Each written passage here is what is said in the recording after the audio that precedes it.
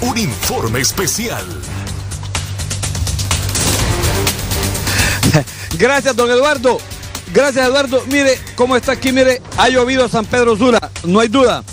Ha llovido toda la noche, ha Este llovido mucha lluvia. Mire, informe y aquí especial. cómo está esta, esta zona, este sector. Mire, aquí está la segunda calle contigua Confecciones El Varón. Mire, Este aquí observar usted especial. prácticamente es una laguna.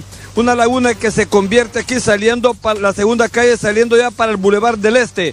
Aquí vemos una buena cantidad de trabajadores que van para aquí, para estas maquilas que están aquí, confecciones el varón, y que tienen que ir esquivando, tirándose por toda la orilla, porque ya aquí prácticamente está lleno de agua, se convierte en una laguna este, esta zona que, por cierto, como usted lo dice, de acuerdo a los, eh, a los ingenieros, al departamento de ingeniería, tiene tiempo de estar esto así y no lo mandan a arreglar. Esto le compete a la municipalidad de San Pedro Sula para que eh, este dique, yo no sé si le puede llamar dique o cómo se le puede llamar en términos de la ingeniería, a esta, esta situación que se presenta.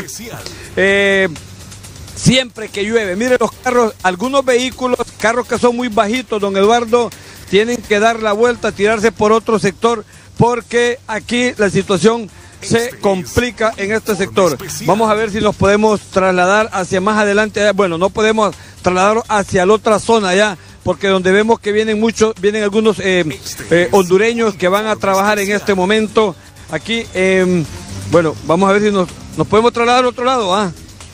A ver si nos podemos traer al otro lado aquí para poder observar cómo está aquí esta cantidad de agua remansada aquí en esta zona.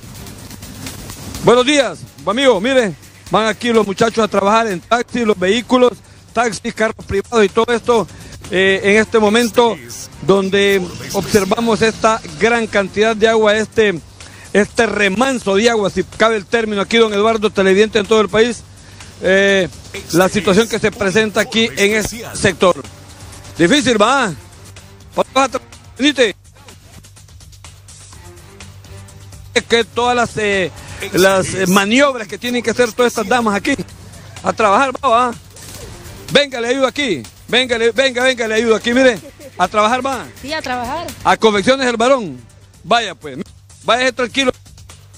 Este es un informe especial. compañero, eh, nuestro compañero Ernesto Alonso Rojas mostrándonos este dique.